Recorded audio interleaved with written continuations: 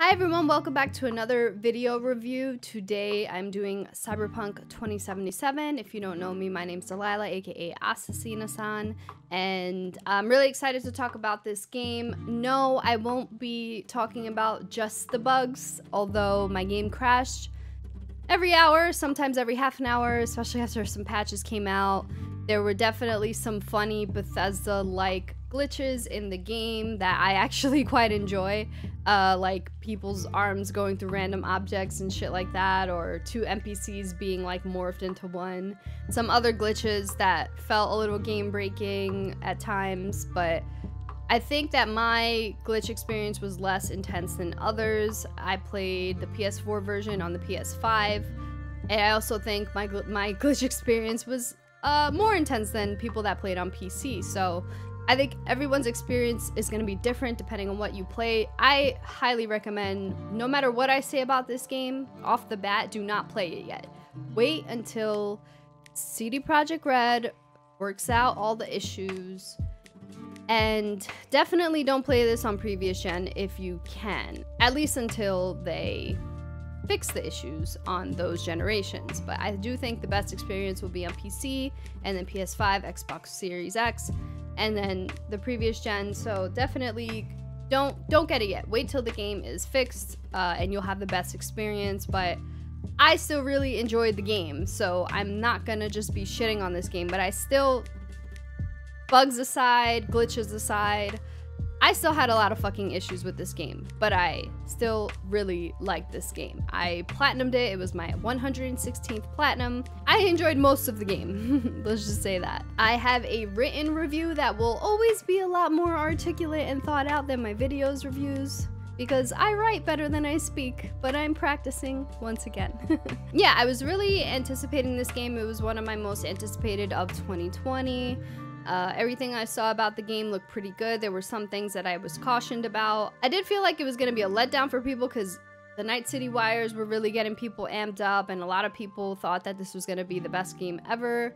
And I knew there was going to be disappointment, but I didn't know it was going to be a PR disaster. I didn't think it would be this bad.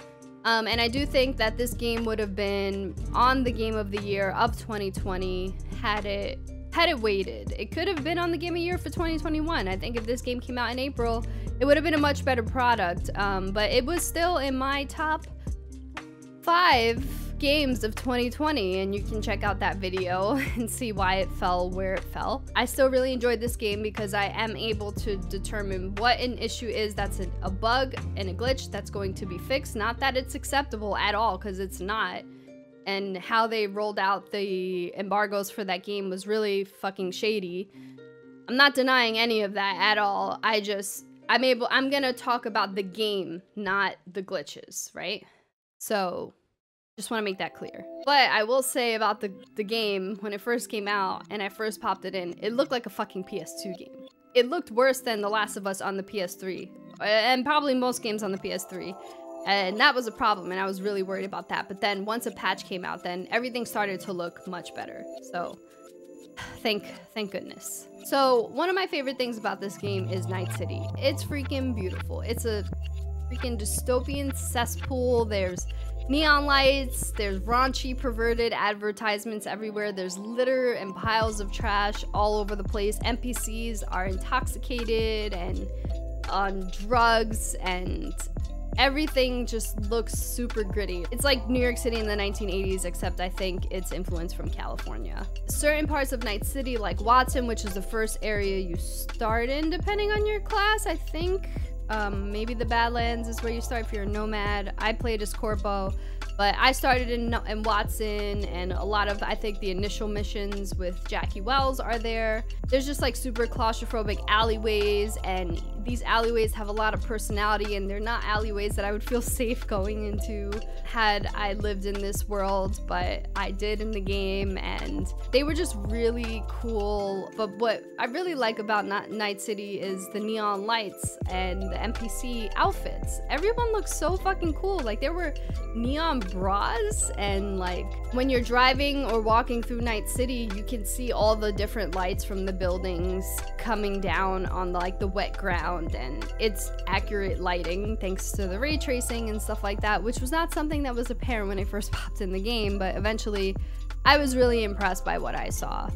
And then once you branch out further down, you hit like Santo Domingo and Pacifica and those areas open up a lot more. They have palm trees and beaches and carousels and roller coasters, kind of like if you've been to Brooklyn, kind of like Coney Island um, in a way, except bigger and the buildings are higher and stuff like that. And then when you go out into the Badlands, it's just straight up like dirt ground, open space, fucking piles of garbage everywhere, cars and encampments and everything's so spread apart and far away from each other. So each area has a lot of personality. It felt a lot like GTA 5, where you're driving from Los Santos and then into Blaine County. The whole vibe and aesthetic just feels completely different. And although all of Night City is like gritty, each area has its own personality and it made exploring it really fun. Also, everyone's smoking cigarettes in this game. I don't know. Don't smoke cigarettes, kids. then I think the other part of Night City that I really liked is uh, CD Projekt Red really put a lot of care and attention into the lore and the world building of this game. There's uh, shards everywhere, which are kind of like data pads informing you of what happened in that specific space. There's uh, messages and files on computers that do the same thing, and and you can also ask, access the net, which tells you about the politics and the crimes and greedy corporations. The world is just filled with criminal activity. There's high technology and persistent access to sex workers. The world just felt fully realized, and it was really fun to explore, really fun to learn about. And I, I found myself wanting to read all of the shards, but uh, ultimately I got too overwhelmed with that, and it was taking away from the other elements of the game because it was a lot but um, it's always good to have that in case you are interested in learning more about each area that you're exploring in Night City. What I liked about platinuming this game is it forced you to go to every single corner of Night City as platinums tend to do, which is why I'm such a trophy hunter because I feel like I'm seeing every element of that game than I would have if I just beat the game. And each area has a lot of details, tells a story. There was a situation that happened in corners and alleys that you would never imagine unless you actually platinum the game. So that was really cool. But what really turned me off about Night City, it was just too perverted and hypersexualized. Like I know a certain amount of sexuality comes with the cyberpunk theme. And I also fully acknowledge that I'm a little bit of a prude when it comes to this stuff. I don't mind nudity and sexuality in my game if it's relevant. I felt like in this game it was relevant sometimes, but then it just became excessive. Excessive. I felt like CD Projekt Red was more focused on the perversion of the game than actually polishing their product. And it was a similar complaint that I had with The Witcher 3, except The Witcher 3 was a polished product and was a much better game overall. But I felt like had they put less hours into mocap sex scenes and a little more hours into tuning their combat, it would have been an even better game. Probably would have fell on like my top three games of of of the generation. Sometimes I felt like this game was created by young boys who just hit puberty. And I'm not saying that I wanted them to not have any nudity, and I know you could turn it off or not have any sexuality, but I just wish they would have toned it down a little bit. I think it was a little too excessive. But the problem that I have most about this is that I was able to, spend hours modifying my penis if I wanted to, but yet I couldn't modify myself outside of the character creation menu. And for a game that really you can modify your body how you want whenever you want, that's like the point of Cyberpunk, and you can change your hair or your body on a whim you can give yourself some chrome, uh, you know, on your arm if you feel like it, you know, halfway through your life. It just felt like after the character creation screen, I had no autonomy over my character. This wasn't just in like her hair color or how she appeared, because I did make a, a female body type character with a female voice but I wasn't even able to put on the clothes that I wanted. And so here I am in a world full of NPCs that looked 1,000 times cooler than me, but I looked super uncool because I couldn't even dye my hair, even though I spent 20 hours modifying my penis if I wanted to. But I couldn't even put the clothes that I wanted because I had to focus on armor rating.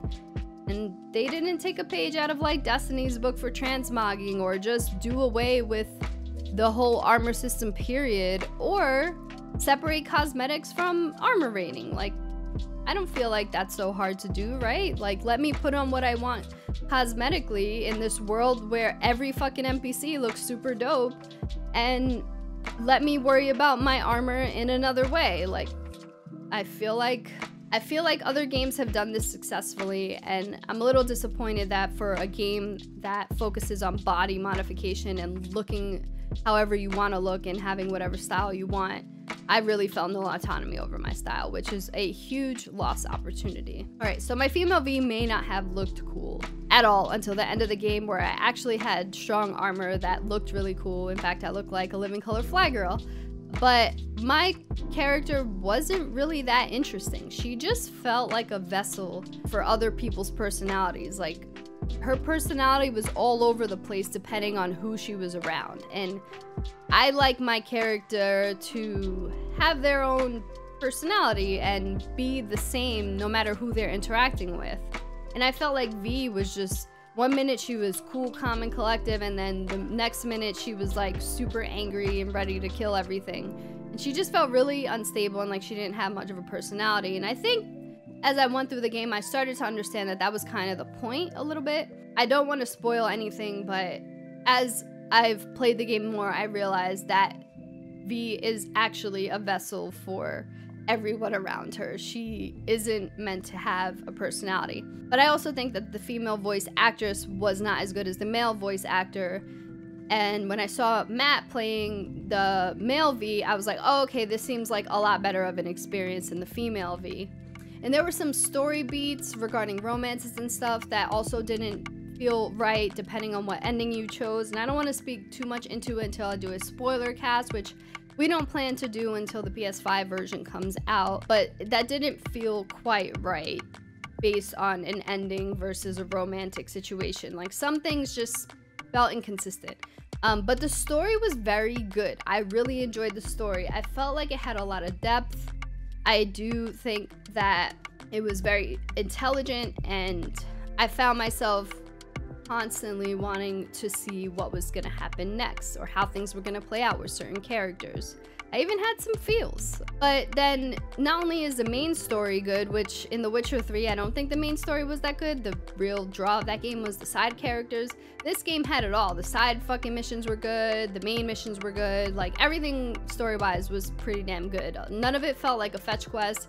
Every quest was unique from the next. I didn't feel like I was doing the same thing over and over again, except like the NCPD stations and like fixing criminal activity and stuff like that. But that that's just combat related. But a lot of these uh, missions had really dark themes, like themes of suicide, themes of homicide, themes of like violent revenge, child abuse, like really, really dark themes, which did fit with the cyberpunk world.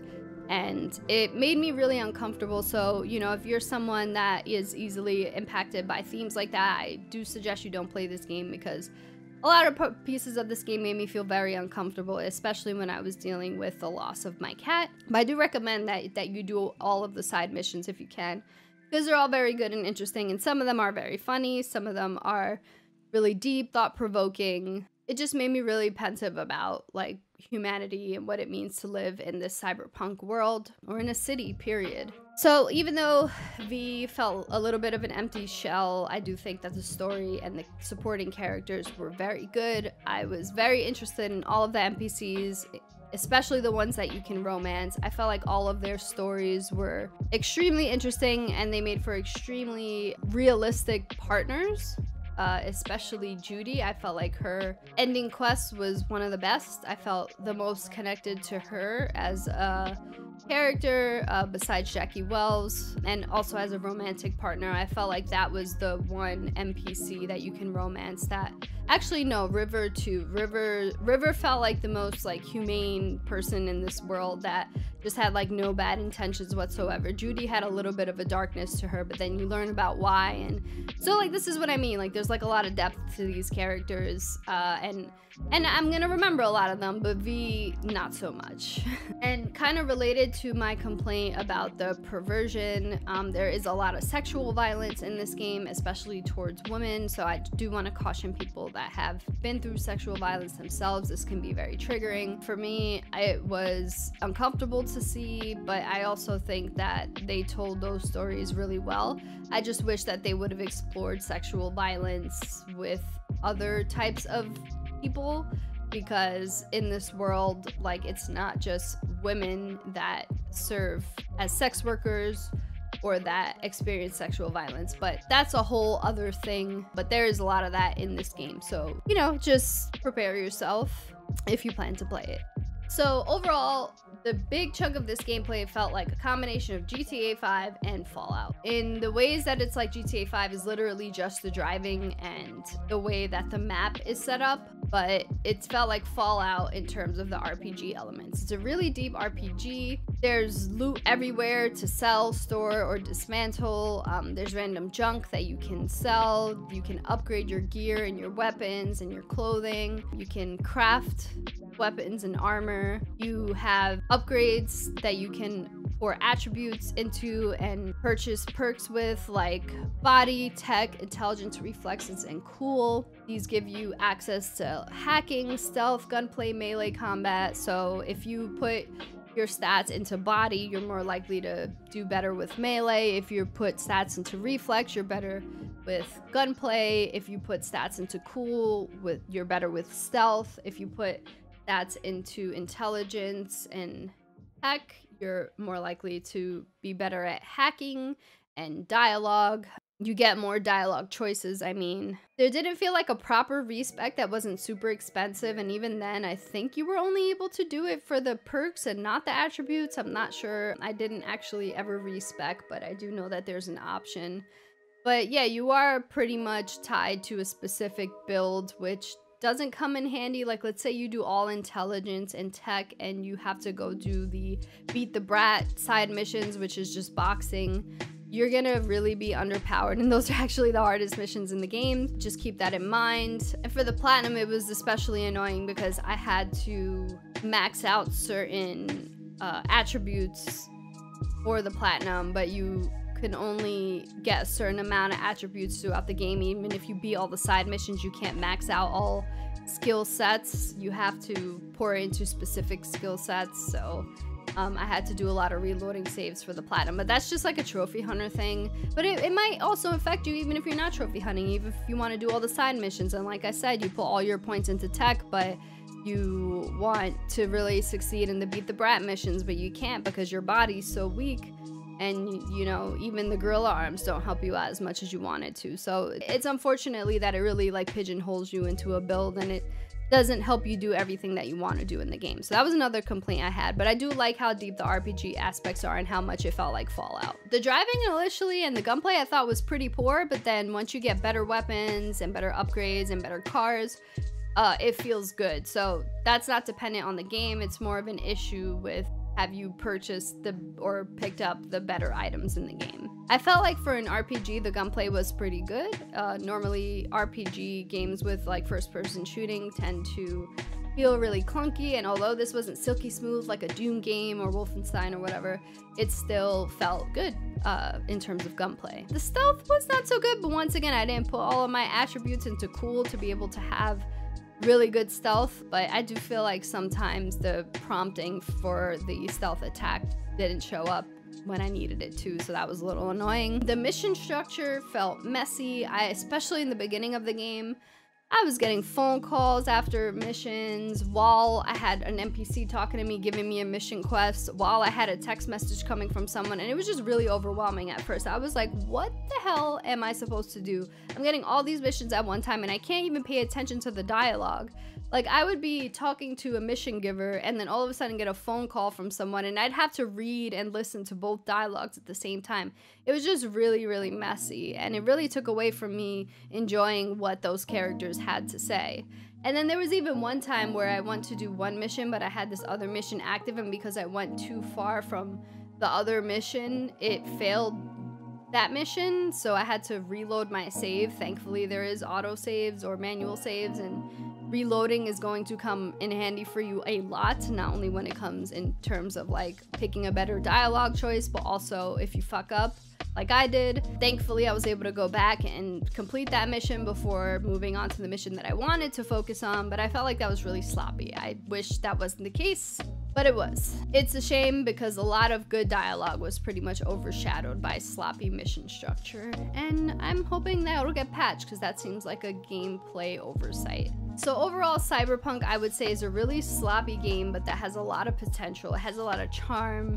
It has really intelligent storytelling, fun gameplay, really deep RPG mechanics, and a beautiful, really beautiful, fully realized world. I think once things are patched and the PS5 version count comes out, I think people will look back on this game as a critical darling, but I think that the bad PR around it will never be forgotten and I I, I hope that this is a lesson to all developers and publishers because they're really the ones that have the power over when a game is released and how shitty it is. Like the developers are not to blame on this. It's it's definitely like the executive staff that are making these decisions that are saying, oh, well, put it out. I don't care if it looks bad. We've delayed this game too much. We need to make our money. Like, fuck your money. Like, there's so many games that I can play right now, that gamers can play right now. Like, we have a service like Games Pass where we have so many games that we can just dive into. We don't need you to release your game right away. Like, I can wait. Sure,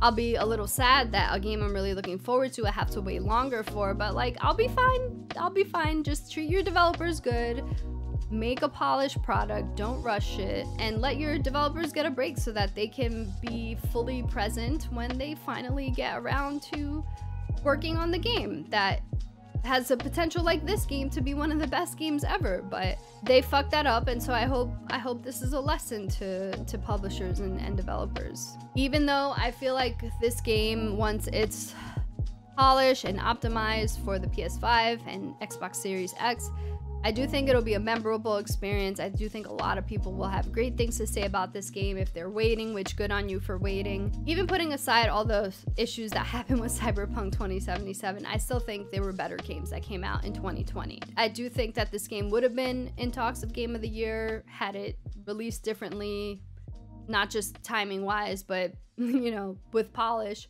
But I think that even if I completely erase all of the issues of this game and just focus on that core gameplay, I still think that other games were a lot better than Cyberpunk 7. Although I really like this game. So wait for it to be at its best form before you play it. I do recommend it once it's in that state.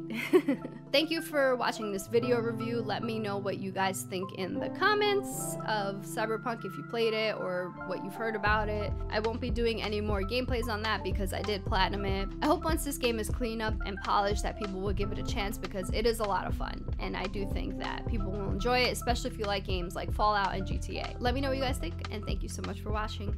Take care everyone.